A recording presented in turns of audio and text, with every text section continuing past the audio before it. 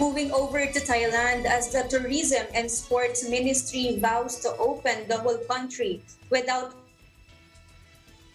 quarantine by January next year. We have Gladys Pinuela from EBC Thailand Bureau. Hi, Gladys.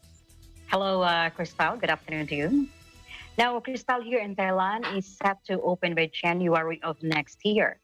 This was according to the Tourism and Sports Ministry, which stated that reopening will still depend on the nationwide herd immunity.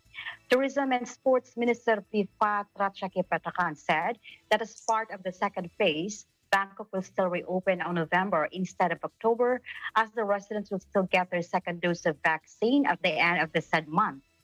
Meanwhile, Chiang Mai, uh, Prachuap uh, Chonburi, and Phetchaburi will open on October 1st. Phiphat said those areas has not yet started its standard operating procedures or SOPs and needs to expedite this month. Phiphat also said that during their meeting last Friday, it was agreed that the third phase of reopening will be implemented to some provinces under the 7 plus 7 extension program. Phiphat also said that they will propose a list to the Center for COVID-19 Situation Administration for the allocation of vaccine to those areas. He added that areas which will not meet the required level for vaccination, then in isolation or a sealed routed for selected district, will be applied at an early stages.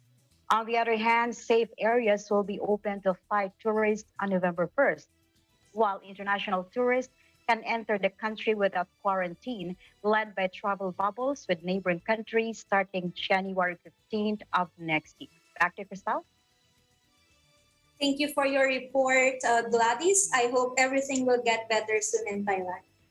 Sure. Well, uh, from Thailand, uh, Bangkok, Thailand, this is Gladys Pinuela. We live in interesting times.